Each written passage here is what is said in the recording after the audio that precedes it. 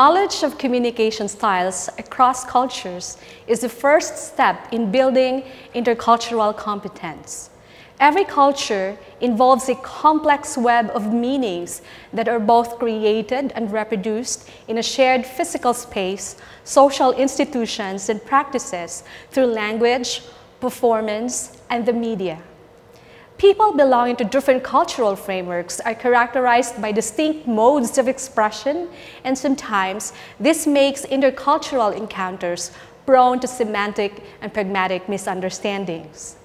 Edward T. Hall, the father of intercultural communication, opined that each culture has a hidden code of behavior that can rarely be understood without a code breaker. Thus, to commune with another culture, one has to develop an understanding of the symbol systems of its participants. Communication styles include those verbal codes and nonverbal displays which form part of the behavior of individuals or groups of people during intercultural settings.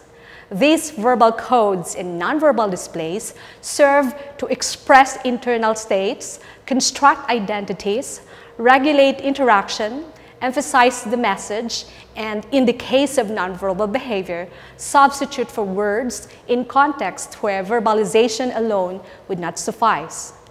The literature points out four basic verbal communication styles that characterize cultures based on cultural context and value dimensions. First is low context versus high context verbal communication styles. Low context communication uses explicit verbal codes and the meanings are derived from the utterance. Meanwhile, high context communication relies in non-explicit verbal codes and interactants pay attention to the implied meanings of what is being said. As such, the low context communication style is more sensitive to nonverbal elements of the communicative situation. Second is direct versus indirect verbal communication styles. In direct verbal communication style, intentions, ideas, and needs are expressed in an outright way, whereas the indirect verbal communication style is characterized by the use of figurative speech and layering of intentions. Third is self-enhancing versus self-effacing verbal communication styles. Self-enhancing verbal communication style is assertive and openly proclaims one's abilities and accomplishments. The self-effacing verbal communication style is the opposite as it is defined by modest talk and a perceptible hesitation to call attention to personal accomplishments. Fourth is elaborate versus understated verbal communication styles. The elaborate verbal communication style is defined by loud, open, and animated expressions. On the other side, the understated verbal communication style is filled with silence and understatements. In terms of nonverbal displays, there are nine nonverbal codes that are said to characterize cultural groups. These are appearance, proxemics, chronemics, kinesics, haptics, oculesics, vocalics, olfactics, and silence. Appearance is the most obvious nonverbal code that may indicate age, gender, nationality, education, economic status, lifestyle, and attitude. These impressions shape how we relate to others. Proxemics is the use of interpersonal space and distance. Research shows that cultures differ substantially in their use of personal space, concept of territory, and the meanings assigned to proxemic behavior. Chronemics refers to the study of meanings, usage, and communication of time, such as punctuality and pace. The monochronic concept of time is linear, sequential, and segmented so that time is understood to be scarce, thus it has to be spent wisely on achieving tasks. On the other hand, the polychronic concept of time has a leisurely pace and underscores the importance and quality of human relationships. Gestures or kinesics include posture, movements, gestures, and facial expressions. Gestures are hand movements used basically to signal speech and to convey messages that vary in meaning, extensiveness, and intensity. Facial expressions are also culturally learned. Ekman and Friesen, for example, noted six ways in which facial expressions are managed, outrightly expressing, amplifying, deamplifying, masking, combining expressions, and neutralizing. Haptics or tactile communication differ in amount, location, type, and public or private manifestation. Haptics or touch indicates certain emotions. The valence that are assigned to different types of touch are culturally learned. Oculesics deals with messages sent by the eyes such as eye contact. Eye movement and contact are expressions of thought, feedback, attention, and regulation of conversation. The number and type of messages that an eye contact or gaze could send carry cultural dimensions. Vocalics or paralanguage refers to the nonverbal elements of the voice or the tone of human voice. Vocal cues also provide information when we appraise other people. Paralanguage has three categories, vocal qualities, vocal characterizers, and vocal segregates.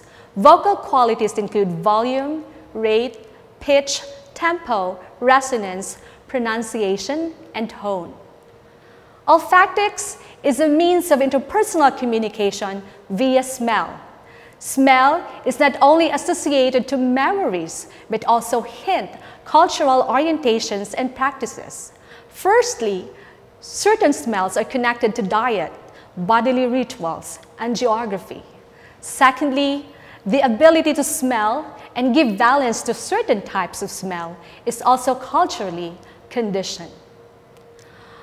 Often treated as a mere background of speech, silence is a complex and powerful element of human interaction that is culturally determined and communicates certain aspects of a culture. Some cultures are known for their articulation and volubility, while others are known for intermittent silences. Across cultures, silence plays cognitive, discursive, social, and effective functions. As a social phenomenon, it regulates social distance, impression formation, social control, and role and power negotiation. The degree, frequency, type, and meaning of silence is where cultures differ. These categorizations of verbal and nonverbal codes appear to be lucid and well-defined. Yet, students and practitioners of intercultural communication are advised not to treat these communication styles as mere polarities. An emergent body of research influenced by postmodernist theories decry the seemingly essentialist pronouncement of cultures when we look at it as being one, if not the other. High context, if not low context, indirect, if not direct. Accordingly, treating cultures as binary oppositions tend to reinforce even more existing cultural boundaries, treat cultures as monolithic phenomena, and ignores the fact that cultural differences are not fixed but negotiated. Communicative behavior as reflective of negotiation necessitates that we consider intercultural communication as a constitutive phenomenon. As such, it is a space where individuals from different cultural backgrounds meet and are characterized by differences that are not fixed but are in constant redefinition, reflecting the multiplicity of cultural identities. Similar to other forms of communication, we describe intercultural communication through its communicative elements, the source, the message, the encoding process, the channel, the receiver, the decoding process, and the effect. But what makes intercultural communication a unique phenomenon is that it spells out interactions between individuals or groups of people whose cultural backgrounds vary enough as to influence the communicative outcomes. Intercultural communication is not just the story of two or more individuals talking and finding that through the course of the conversation, there are ideas that are mutually understood, there are those that are ambiguous, and there are those that are clearly misunderstood. Intercultural communication can be fully appreciated if we examine how people with different cultural frameworks co-create a communicative space where their differences and similarities are reconciled and how this process impacts their current and future relationships with each other and with other people. At times, this process of negotiation of meaning is not on an equal footing leaving one of the parties leaning more towards assimilation or integration, if not separation from the dominant culture, as the case of sojourners, in order to cope with the stresses that accompany the acculturation process. Intercultural encounters can be imagined as contact zones or social spaces where different cultures meet, collide, and struggle with each other often in highly asymmetrical relationships of dominance and subordination. Indeed, due to power differences between groups, intercultural experiences could lead to inclusion or exclusion. Homi Bhabha referred to these contact zones or social spaces as the third space, which he defined as the in-between space in the clash between cultures where meaning and representation are negotiated and cultural identity can be reimagined. For Bhabha, cultures are in a constant process of hybridity. Cultural differences are not fixed, but rather negotiated in the instance of enunciation cultural meanings change permanently as influenced by the continuous process of negotiation. The confrontation with the unfamiliar encourage opportunities for change.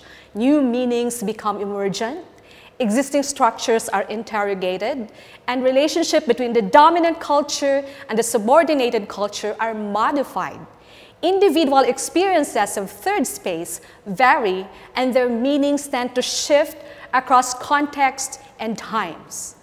All these form the basis for the concept of third space or third culture in intercultural communication, where individuals from different cultures who interact with each other make adjustments to their own sense of cultural identity in order to explore new ways of building relationships. Exposure to otherness may influence individuals to expand their perspectives of the world and come to resolve the multiplicity of cultural identities in terms of their cognitive, behavioral, and moral dimensions. Intercultural communication scholar Kathryn Sorrells put forward six entry points for intercultural praxis, which may help us enhance our intercultural communication competence, turning the third space into an ideal place for establishing fulfilling intercultural relationships. These entry points are inquiry, framing, positioning, dialogue, reflection, and action. By inquiry, we take an interest in and become committed to learn about other cultures, which opens opportunities to engage with others. Under framing, we recognize that our perspectives are shaped by our frames, and to address this, we need to educate ourselves about the local and global factors behind intercultural interaction, such as the histories of people. In positioning, we acknowledge that our geographic positions are closely tied to our social and political positions. Some of us may be in a geographic location that affords us direct access to the material and symbolic resources in society, where others may not. It would be better to identify which voices are dominant, which ones are silenced. Dialogue offers an opportunity, in Sorrell's words, to stretch ourselves to reach across, to imagine, experience, and creatively engage with points of view, ways of thinking and being, and beliefs different from our own, while accepting that we may not fully understand or come to a common agreement or position. With reflection, we make introspections and modify our views and behavior. Finally, Sorrells argued that it is not enough that we modify our thoughts and feelings in accordance with the ideals of cultural and political inclusiveness. We must also take action to help promote social justice. Accordingly, treating cultures as binary oppositions tend to reinforce even more existing cultural boundaries, treat cultures as monolithic phenomena, and ignores the fact that cultural differences are not fixed but negotiated.